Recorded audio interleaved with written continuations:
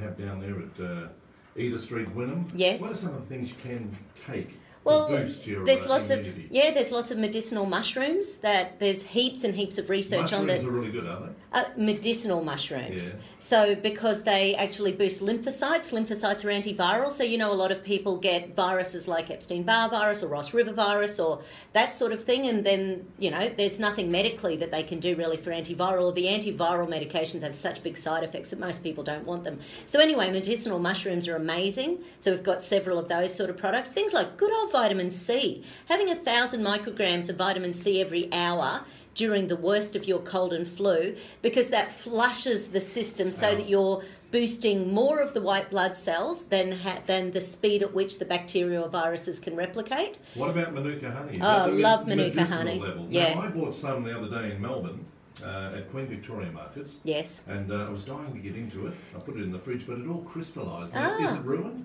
No, no, no. You pull it out, it'll uncrystallize The once it. Yeah, yeah, yes. it will. It will. It'll be fine. All right, I'll take It'll be fine. a day. Keeps the doctor away. It does. Um, speak about um, Ekka. That's uh, on right now. They're expecting, I think, first day 30,000 people. Oh, I hope it goes well. well, I- look at the weather. You couldn't ask for a better day, and they predict uh, very similar weather over the weekend. oh, it's just looking gorgeous, So isn't it? Fantastic. And uh, cheap rail fares, folks. If you're thinking of taking the family, you get a family pass. But Queensland Rail have uh, cheap fares from here at Cleveland right into the Ekka grounds. So um, inquire about that with Queens- Queensland Rail. And make sure you keep the sniffles away. If you do have a sniffle, don't go.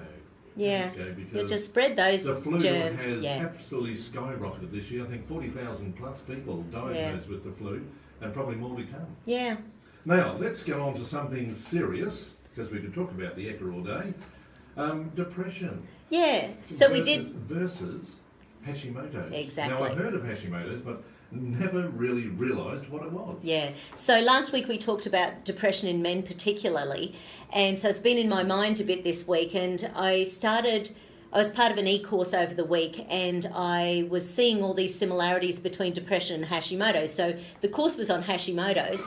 But as they were talking, I'm thinking, gee, a lot of people have these symptoms who have been diagnosed with depression. So I made up a list of the connections between the two, and then I started looking at how often there's misdiagnosis going on. So, for a start, everyone knows what depression is, and I think it's estimated that one in five people will suffer depression in their lives. So, you know, it's it's not a small thing here in Australia. It's it's it can be really think in the Western world, it's huge. Yeah, absolutely. You can climb out of that dark, dark hole, as, Yeah. as uh, Winston Churchill referred to it as the black dog. Yeah. So Hashimoto's thyroiditis is a thyroid disease. It's so the thyroid is a gland that's in your throat, and most people have never heard of Hashimoto's until they get diagnosed, and they only get diagnosed if they've got a doctor who really is trying to find underlying symptoms. Because and I say that because on average it takes the average person 5 to 10 years to get diagnosed and generally 5 to 8 specialists. So it is very miss it's not found 52% of people who have depression are actually misdiagnosed hashimoto's clients Who discovered this? Uh, Mr. Hashimoto, wasn't it? uh, well it was a mr hashimoto actor i'm sure he was a doctor Oh, but yes yeah so So that's that's huge. Yeah, so what it is-. Yeah, and it's an autoimmune disease of the thyroid. So just say you're tired, you're going to the doctor, you keep getting checked with all your usual things like your iron and your white blood cell counts and your thyroid, and everything keeps on coming back. How common do we hear this that everything is perfect in the blood tests?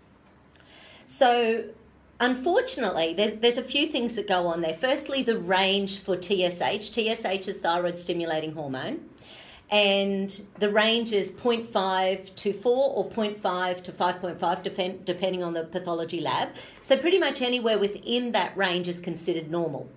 Now the problem with that is that optimal is about 2 in fact optimal is under 2 and i heard about 10 years ago 1.84 so that's what I, someone said that at a conference once. So, so i've always been aiming for that for my clients so that, but it can take 10 years, and this is the problem. It can take 10 years for your body to go from two to five. So, because your thyroid is an amazing gland, it wants to help you. It does things like actually grows. So that it's releasing more hormones so that Well, you feel do better for I longer. women suffer more thyroid problems than men. Five to eight times more than men. Because you can see that little golf ball Yeah. develop in the throat of uh, a of Exactly. women. So it's called a goiter. Yeah. And a lot of people have what's called a goiter stripe, you know, so it's almost like a little collar, band, you know, around around their throat and they might just think of it as like a fat roll or something like that. But I see it in thin women, you know, it's not something that's ne- it's not to do with obesity, it's not to do with weight. It's because the thyroid is actually growing. So you can't really remove it surgically. Oh You no, can. doctors can remove goiters and quite often uh, one of my clients actually that give you an imbalance. Absolutely, definitely. And in fact, a lot of underactive thyroid is considered easier to treat than overactive thyroid. So, overactive thyroid is called Graves' disease. Great name for that one, thank you, Dr. Graves. So, so What's the outlook? yeah, so overactive thyroid, it, it's more dangerous and damaging because it's when the it's the thyroid being hyperactive and overstimulating, which means you're in a position where your foods, your bugs, your the cells of your body are being attacked by your immune system at a really fast rate. That's still happening in Hashimoto's, but at a slower rate. So, So that Graves' disease is a, it's further down the line. it, not necessarily. You know, and this is the thing with people with thyroid issues, and this is why they need the correct diagnosis. Because people with thyroiditis can be misdiagnosed as, say, bipolar syndrome. There's all, I can't remember what Yeah. percentage it is, but bipolar, of course, gives you those ho- highs and lows in mood. That's exactly what Graves' disease and Hashimoto's does. With Graves' disease, you're feeling anxious and stressed, and you're losing weight, and you're hyperactive, and you can't stop, and you're going to all these doctors, and they're checking everything for cancer because you're losing weight at the speed of light, and your eyes they start. pull out another tablet and say take two of those Exactly. one. Well, the number one thing that they do with Graves' disease is radiate the thyroid. So, so basically, they give this um, radioactive iodine. So they inject it into the thyroid. Um, but the reason they do that is to destroy the thyroid. They do it to destroy the thyroid because it's easier then to put you on a thyroid medication for underactive thyroid than it is to treat the overactive thyroid But then you're going to be on medication once you've for the rest of your life. Yeah. Absolutely. And the other thing they do with Graves' disease is just remove the thyroid because, of course, you don't need it. So, no, they say that it's being, you know, it's being naughty. It's a naughty gland when it's playing up. But what it's trying to do, it, it's all to do with stress or infection or the underlying reasons we get Hashimoto's and Graves' disease. If they're not looked at long term, you can end up with things like uh, heart problems and other mental health issues and birth defects and chronic fatigue and fibromyalgia and irritable bowel, major depression. So there's some massive, massive things um, when the, when it's not diagnosed. I was, just looking at one of the um, symptoms of Hashimoto's here. Um, waking up feeling tired. Oh. That, that really points to a lot of problems, doesn't it? Uh, It does. Sleep apnea Yeah. comes to mind. Yes, and because and sleep apnea is very much to do with breathing and lungs and weight and heart and all sorts of things go into sleep apnea. It's not a simple Yeah, well, thing. the, the doctors have come out and said very clearly, black and white, it does lead to either stroke or heart attack. Yeah. So and and it can be a sign of thyroid problems. And and because I, I'll just uh, I had some blood work done recently. I'm very proud of myself. First time in 26 years, I actually went to doctors and had a blood test. And it was funny because I asked for my thyroid to be checked, and my TSH was 2.8. Now, if I was any of my clients, it's within the range, but to me, that is a sluggish thyroid. And I went, hmm, that's interesting. Um, but I was considered euthyroid, which is that's EU thyroid, and that's considered normal. And the other thing that was checked was my free T4. Now, T4 is inactive thyroxine. T3 is active this is thyroxine. the chemical produced by But by the thyroid, absolutely. Now, the drug that we're given when we have a sluggish thyroid, uh, which so many Australians are, it's in America in the last three years, two out of the last three years, the number one drug that was sold was thyroxine. So, you know, going back 10 years ago, the numbers one and two drugs being sold were antidepressants and cholesterol drugs. So it's amazing 10 years later, it's thyroid. Huge. They're saying that 28 to 38% of us have have thyroid issues and most are undiagnosed. No, most of the autoimmunity to do with the thyroid is undiagnosed. So consider my two tests. So my free T4 was 14, it's supposed to be between 10 and 20, and my TSH was 2.8. Now, medically speaking, that, yeah, absolutely. And the doctor said basically, yep, you're perfect. And I go, hmm, okay. But I've chatted about this before. I work my butt off to maintain my Yeah. weight. I'm constantly exercising. I'm constantly on a diet, and I do it because I like to look good, and I don't want to Oh, Madonna, not. so, so I do. I work hard at it, and I know some people who don't, and I've always just been jealous of them. But it's making me want to go and do a thyroid panel just out of curiosity, because one of the things that was also found in my blood was that I do have HLA-B27 gene, which is it gives you a predisposition to autoimmunity. So I want to go and check my free T3, which is the active thyroxin. 20% of people with HLA-B27 don't convert T4 to T3 which means that you've got the inactive in your bloodstream, but your thyroid can't act- actually activate it into the active form that gives you energy. What, what in our lifestyle? What um, causes problems? Is it diet? It's a bit of everything, stress? absolutely. Uh, so it's things like old infections, things like Epstein Barr virus, Lyme's disease, Ross River virus, that sort of thing. Last page, Roger. Um, yeah, so, and basically those sort of things, massive nutritional deficiencies, uh, particularly things like iron, B12, uh, zinc, selenium, iodine, that sort of thing. And also things like um, wheat and gluten are probably two of the biggest things. And it's not it's not even so much that they're bad foods, although you know they're not the best things for us if we've got an autoimmune disease. But wheat and gluten, because they're genetically modified and adjusted and all sorts of bits and pieces, that puts pressure on your immune system. If you imagine that you've got Hashimoto's or Graves' disease, an autoimmune disease, it means your immune system is ADHD. It's looking at everything in your bloodstream and trying to attack it and fight it to keep you well.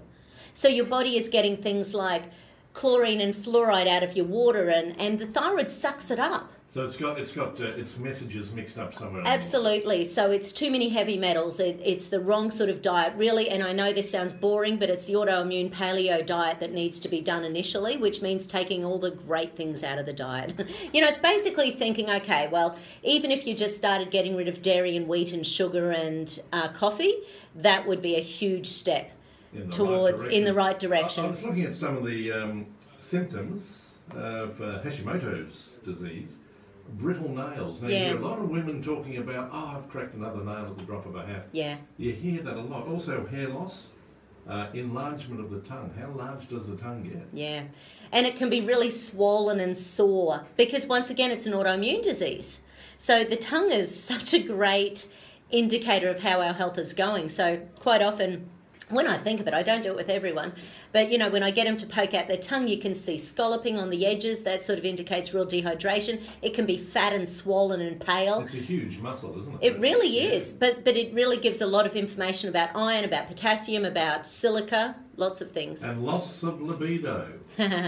we don't why, want do you, why do you laugh? Well, I, particularly I thought I had lost it, but not since you've come into the studio. I haven't got Hashimoto's. so we yeah, so with libido, you can imagine what the thyroid is. It's like an overall metabolism organ of the body. So if the thyroid is sluggish, it makes everything sluggish. Your digestion, your sex organs, your Your sex hormones, your it really does. So it can affect every single system of the body. That's funny. It affects both depression and Hashimoto's. Uh, affects the libido um, in the wrong way. Yeah. And um, a complete opposites. Depression, um, increased appetite causes weight gain, but also you can have unexplained weight loss. with Yeah, depression. So You really can. If someone overnight loses a lot of weight, Yeah. Yeah. How are feeling? And given it takes four to seven minutes for most doctors to prescribe antidepressants compared to five to ten years to get a Hashimoto's diagnosis, imagine if you've got an autoimmune disease, an inflammatory condition like Hashimoto's, and you're given antidepressants. It means you're not treating the inflammation, you're not treating the immune system. Those things are going to keep on in the background, really making you feel very, very unwell long you're term. chemicals that aren't really doing any good No. to your body. And uh, I think the statistics for depression is that after 12 months, it's 3 to 7% of people are in remission for depression. So, whereas if we're depressed and we do things naturally like exercising and sunshine and lots of sex and, uh, you know, things that are good for us and increase our, our health and Well, going vitality. Well, you're going to so so when you do do the healthy uh, things to improve depression quite often it's only a three month sort of bout of depression. So it's quite different to the medical route, which of course people can take three to nine months just to find the right dose of drugs. Now, if let's say uh, I've got, let's say it's me, for instance, I, I'm suspicious that I might um, feel down, I might have depression, but I've heard about this Hashimoto's Yeah. disease. Can I drop into 94 Edith Street, Wynnum? Can you do a test? Yeah. So what we do, we we can do we can do the usual things we do in the clinic, like look at the blood and the oligo scan. So that sort of lets us know about the stuff like B twelve iron, uh, as well as all the minerals and heavy metals and toxicity. So from that perspective, we've got the test covered. But from the lab tests, we send away to a place um, that basically does a full thyroid panel because you've got to get the antibodies tested because. be- You need you need the free T three tested, like I mentioned before, because free T four you might have plenty of that, but if you're not converting it, you're still going to be exhausted. So the T3T, can you explain that again? So What's T stand four, T four is thyroxine. So Yeah. so it, uh, so basically, it's the inactive form of thyroxine. Yep. T three is the active form of thyroxine. So basically, you need to convert the inactive to the active, and we all have inactive and active, but we need to. But it's toxicity and inflammation that stop that conversion. So if you've yeah, so if you've got Hashimoto's or Graves' disease, and you're being given a synthetic form of the inactive thyroxine, your poor little body just has hardly any hope of converting that. So you need those, and you also need reverse T3. Reverse T3 is a, another one. You need to have a doctor who's willing to to do these things because quite often they won't. So unless they find that you're out of whack with the T4 and, E- and TSH, they won't do further tests. Takes up too much time, I guess. Well, that's sort of why we do some of the bloods because, you know, so we send it away. I think our cost price is like, because we just charge what they charge.